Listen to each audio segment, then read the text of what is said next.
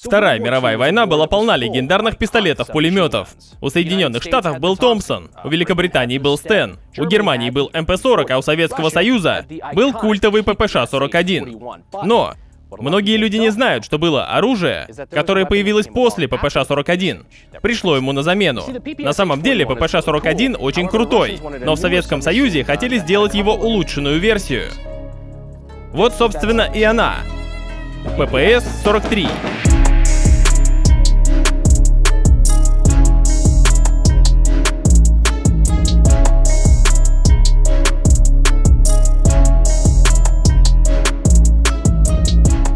Дела, мои ненаглядные мамкины ютуберы? Рад снова видеть вас на канале. Сегодняшнее видео будет о PPS-43. Многие знатоки истории просили об этом видео с того момента, как он появился у меня на стене. А те, кто не интересуется историей, вообще не знают, что это такое, но это нормально, мы его обсудим. ППС-43 — это советский пистолет-пулемет. В нем применен свободный затвор, и стреляет он с открытого затвора. Это значит, что при нажатии на спуск затвор идет вперед, ударяет патрон, он стреляет, и цикл начинается заново. Он стреляет любимым советским пистолетным калибром того времени, 7,62 на 25, из коробчатых магазинов. К сожалению, барабаны в них не использовали. У него есть складной приклад, который мы рассмотрим позже, но я знаю, о чем вы думаете. Брэндон, заткнись уже наконец, я хочу посмотреть, как он стреляет. Ну, во-первых, следите за языком. А во-вторых, да, сейчас постреляем.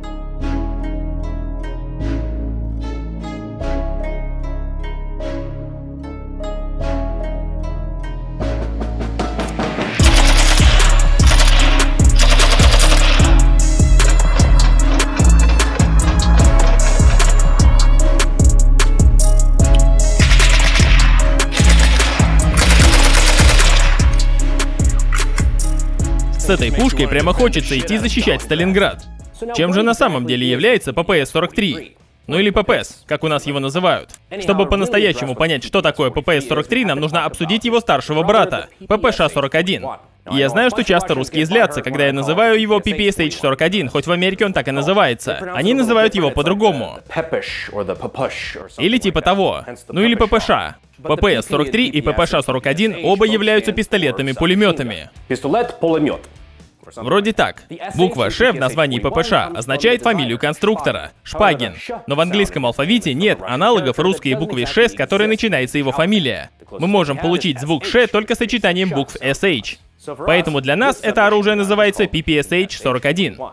И если вам это не нравится, не могу передать вам, насколько мне нет до этого дела. Идем дальше. В любом случае, оружие Шпагина в ту пору было просто потрясающим. При стрельбе использовались и коробчатые, и барабанные магазины, и поливал пулями он как из шланга. Его скорострельность составляет примерно 1200 выстрелов в минуту, что ужасно быстро. Стреляет он в два раза быстрее АК. Но также в своем роде это было проблемой, так как обеспечить солдат необходимым количеством патронов и Советский Союз соотносятся примерно так же, как молоко и жаркий летний день.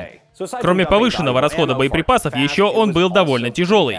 Масса ППШ-41 составляет более 3,5 килограмм без магазина, что довольно много для пистолета-пулемета. Опять же, он тяжелее стандартного АК. И советское руководство утвердило конкурс на разработку нового пистолета-пулемета, лишенного этих недостатков. В этом конкурсе участвовал даже Михаил Калашников.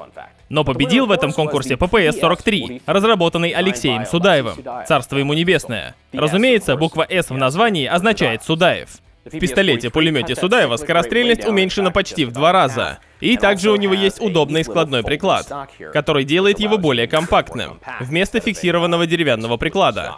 Также при проектировании ему удалось снизить массу оружия без патронов на 600 грамм. И так как весь пистолет-пулемет изготавливался из штампованного металла, его производство было довольно дешевым и простым. Патрон при этом остался прежний. Разумеется, 7,62 на 25 токарев. Это Тульский Токарев, он же советский точно не родной брат 1911 обещаю. Как я и говорил, патрон 7,62 на 25 Токарев. Отличный пистолет.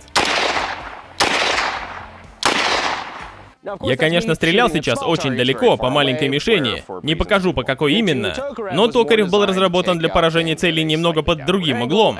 И в упор. I can't believe you've done this.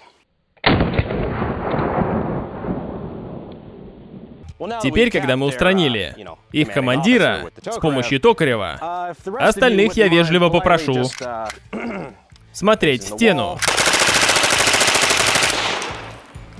Запомните, дети, Америка не замечает военные преступления, если их совершают ее союзники.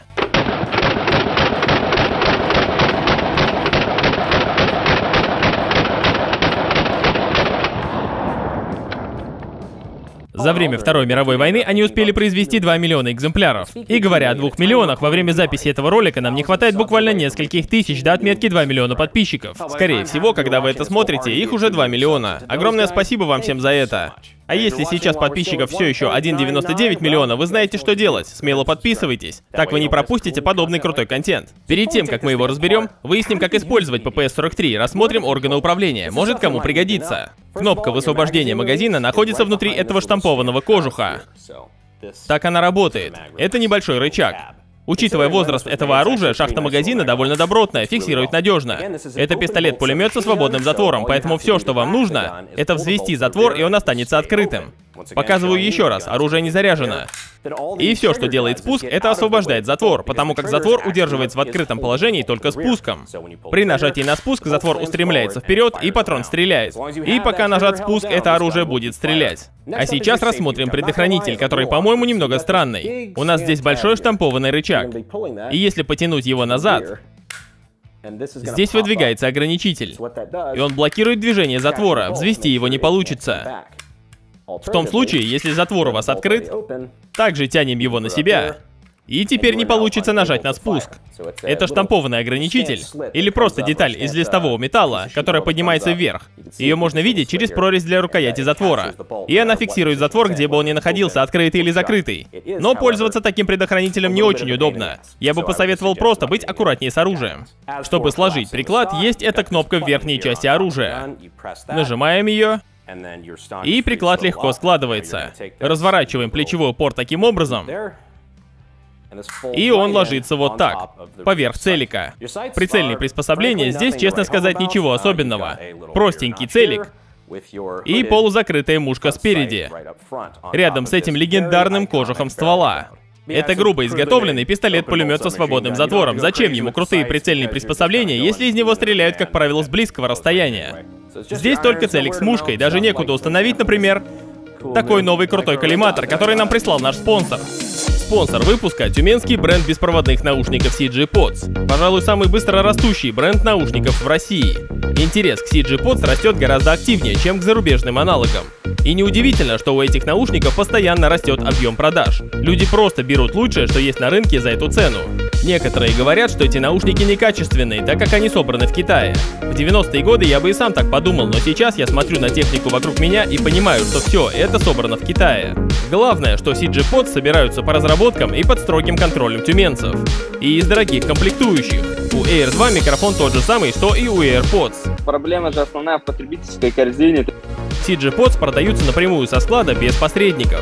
За такие деньги ничего лучше не найти. У CG Pods есть влагозащита, а кейс CG Pods 5.0 выдерживает 220 кило. Цена прямая, без наценок сетевых гигантов, всего 5000 рублей. Один год гарантии, не ремонт, а замена. Переходи по ссылке в описании, вводи промокод «Давай2207» и получи дополнительную скидку 200 рублей. Ссылка в описании. Если интересно, ссылки будут в описании. Спасибо нашему спонсору за поддержку. Возвращаемся к PPS-43. Как же много слов было сказано. Самое время немного передохнуть. Сейчас мы расстреляем те два великолепных спелых арбуза. В том магазине, где мы их купили, их назвали мега-арбузами. Забавно. Я думаю, у Kentucky Ballistics есть что сказать на эту тему. И как бонус, для более эффективного уничтожения арбузов, мы припасли новые экспансивные боеприпасы, которые я сейчас протестирую. Хочу проверить, действительно ли темп стрельбы с ними более стабильный, чем с теми польскими цельнометаллическими боеприпасами, которые мы использовали ранее. Так, высаживаем довольно мощные арбузы. через 3, 2, 1.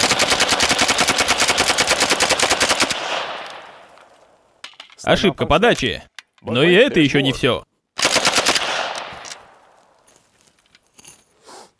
Вот такой малыш-крепыш.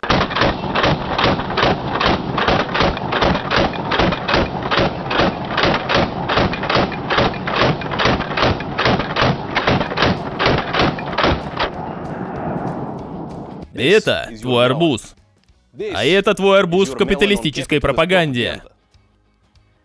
Я имею в виду, что так как у нас капитализм, то производится гораздо больше еды, чем нам может пригодиться, и можно ее вот так расстреливать. Меня поражает, насколько проста конструкция этого оружия. Надо вам это показать. Вот только уберу арбуз с моей пушки. Вот не поверите. Две гильзы застряли внутри ствольной коробки после того, как я спустил целый магазин за раз. Болтались внутри функционирующего оружия, но конструкция здесь настолько простая, что они вообще никак не смогли помешать его работе. А сейчас перейдем к разборке ППС-43. Это у нас пистолет-пулемет со свободным затвором. Мы называем такие пушки трубчатый пистолет. Его конструкция довольно проста. Для разборки необходимо нажать фиксатор в задней части оружия. Разверну плечевой упор, чтобы вам было лучше видно.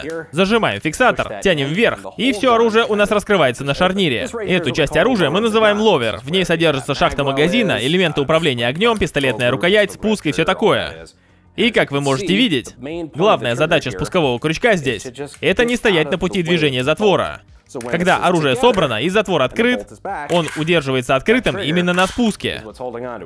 Вы нажимаете на спуск, он высвобождает затвор и не мешает ему делать свое дело. Верхняя часть представляет из себя полукруглую штампованную деталь.